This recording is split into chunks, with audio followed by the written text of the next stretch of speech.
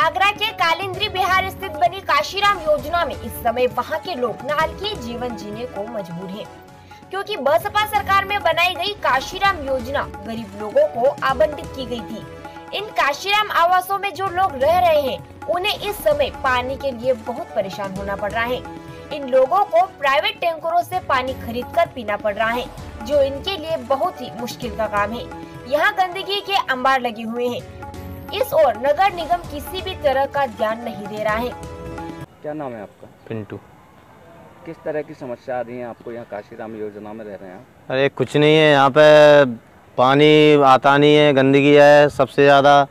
और जे देख रहे हो आप कि कितनी कीचड़ है यहाँ पे।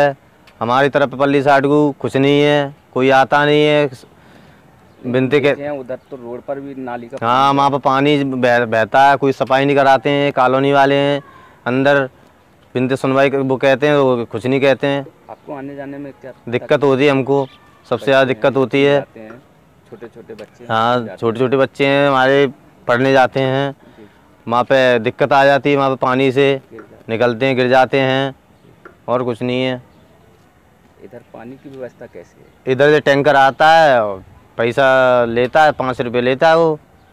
एक ड्राम के छोटी बाल्टी के पाँच रुपये लेता है।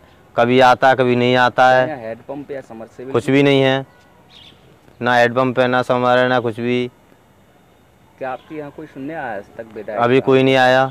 आते हैं वोट लेने वोट कह जाते हैं कि वोट दे दो वोट ले जाते हैं। फिर सुनवाई नहीं करते हैं।